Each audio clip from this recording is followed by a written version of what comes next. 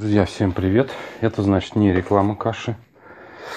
Это я себе каждое утро, значит, готовлю кашу на завтрак. Так вот, там и получается, что нужно на а, стакан жидкости определенное количество хлопьев. Так вот, я покупаю в таких коробочках. Я уже, видите, вот носик сделал, чтобы мне удобно было насыпать. То есть я беру емкость, например, вот этот стаканчик отмеряю сюда хлопьев, нужное количество, да? Ну и засыпаю, соответственно, в кашу. Для чего я это делаю? Для того, чтобы э, каждый раз у меня получалась одинаковая консистенция. Не густая, густую я не люблю, и не жидкая, а что-то среднее. Поэтому каждый раз я вот достаю этот стаканчик, насыпаю туда и высыпаю, значит, в кашу себе. Это мне дело надоело.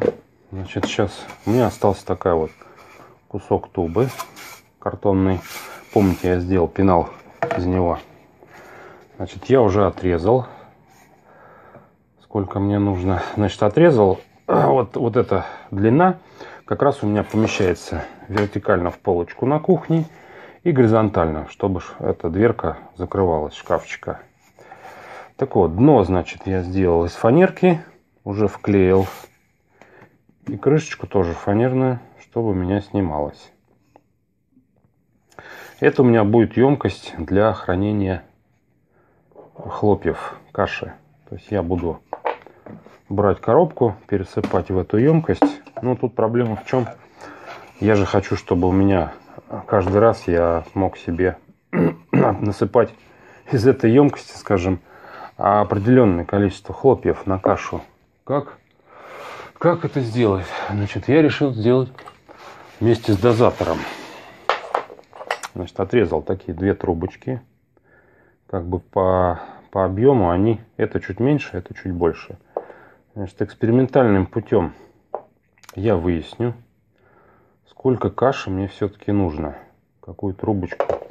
Вот эту емкость использовать или вот эту. В зависимости от этого, это у меня будет дозатор для каши. Одна и другая трубочка, они отлично сюда входят. Вот видите, еще даже там место остается. То есть они будут там внутри у меня. В этот раз я с красотой особо не буду заморачиваться. Я возьму вот красивый журнал. Ну, вырежу из него картинки. И просто обклею эту тубу какими-нибудь картинками. Примерно так вот. Так, набрал я, соответственно, диаметр подходящий трубочкой. Отпилил э, столько, сколько мне как раз таки и нужно. Если насыпать туда каши. Значит, здесь шпилька. Ой, не шпилька, а этот самый гайка, гайка заклепка М4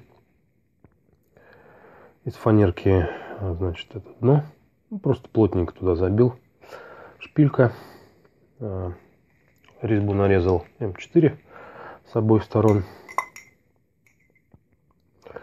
Получается, сейчас я ее вкручиваю в дно.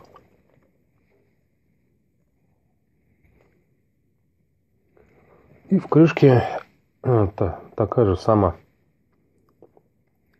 гайка, а, тоже с резьбой М4.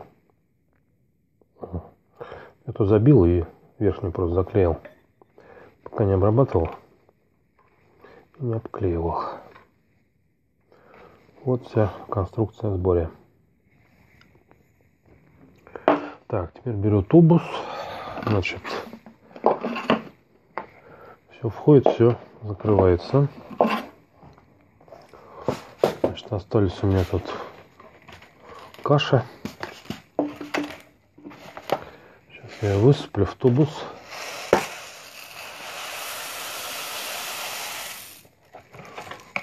Так, все, каша там.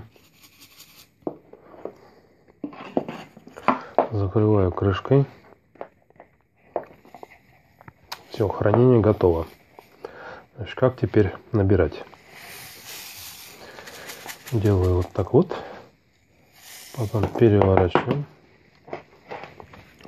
Так, чтобы вам видно было. И достаю сколько мне нужно. Вот кашки. Так каждый раз я буду знать, что я отмерил точно точное количество для приготовления кашки.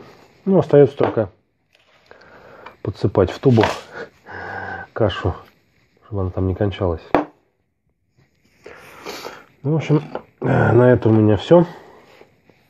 Кому понравилась туба для хранения и дозирования, так сказать, кашки. Ставим палец, палец вверх.